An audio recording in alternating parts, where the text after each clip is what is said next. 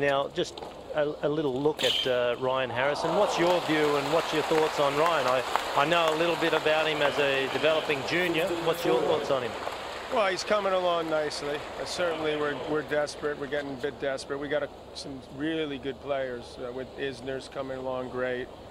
Um, a great example of a college guy that's sort of learned from that and is peaking later, which I think is a good lesson for a lot of kids. Uh, Sam Querrey is the top 20. Mardy's Fish had a good year. So we got four guys in the, the top 20, and Andy's been around the top 10 for quite a long time. So it's not as bleak as people put it. But of course, we're spoiled. We wanted the, the guys that win majors, and so we're looking at anyone. And Ryan's certainly the best bet right now. But you got to develop your own style, and I think do something different and bring something a little bit different to the table that the players, other players, pick up on, and they you get respect that way. I mean, it's clear that he's got a lot of ability. He's got a live arm, beautiful service motion, got a lot of good things, but he's got to sort of develop his own thing.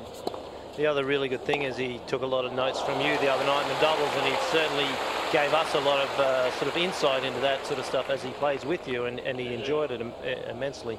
Well, hopefully, but uh, he. Um, it's nice to be with someone that's young. That I, you know, I've got a lot of my own kids. I, I, I think they listen deep down, but it seems like they don't quite often. So it's nice when you get someone on the court that's really picks up on what you're saying, but also can execute it. And they, the good guys learn quick. You know, within a few minutes, they seem to sort of get it, and and then they'll go out in the practice court the next day, and then they'll start uh, to try to execute some of the things you tell them. And because he's got to keep the way to win in tennis is you got to you you've got to be calm and do things that put your opponent sort of in an uncomfortable position.